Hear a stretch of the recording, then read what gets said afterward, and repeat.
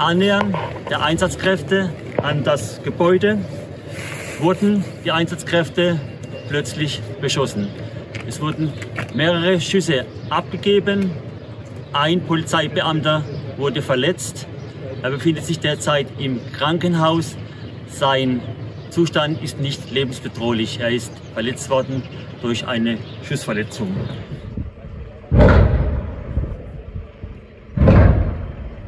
Es kam zu einem Schusswechsel zwischen Einsatzkräften und den Personen im Innern des Gebäudes. Nach diesem Schusswechsel gerät auch das Gebäude in Brand. Ob der Brand durch den Schusswechsel ausgelöst worden ist oder einen anderen Hintergrund hat, müssen die weiteren Ermittlungen noch ergeben. Hintergrund des Polizeieinsatzes war der Vollzug eines Durchsuchungsbeschlusses des Amtsgerichts Mosbach äh, gegenüber einer 55-jährigen Person, die in diesem Anwesen wohnt. Der Hintergrund äh, der Person war der, dass eine Schusswaffe aufgefunden und beschlagnahmt werden soll. Und darüber hinaus war auch angeordnet die Durchsuchung nach weiteren Beweismitteln. Die Person, gegen die sich das ursprüngliche Ermittlungsverfahren richtete, hat sich im weiteren äh, Verlauf nach mit der Polizei geführten Verhandlungen aus dem Gebäude begeben.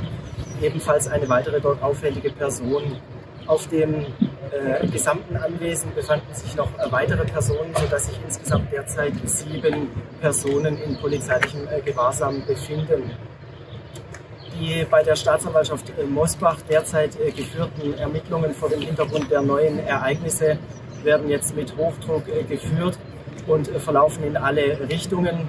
Es steht der Tatverdacht eines versuchten Tötungsdeliktes einer gefährlichen äh, Körperverletzung sowie äh, schwerer Brandstiftung im Raum.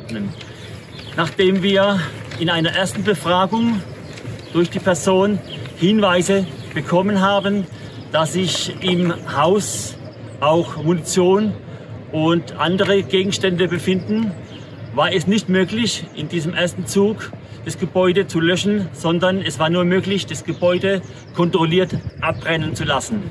Wir wissen noch nicht genau, wer und wie geschossen hat. Diese weiteren Ermittlungen werden jetzt in einer Ermittlungskooperation zwischen dem Landeskriminalamt und dem Polizeipräsidium Heilbronn durchgeführt.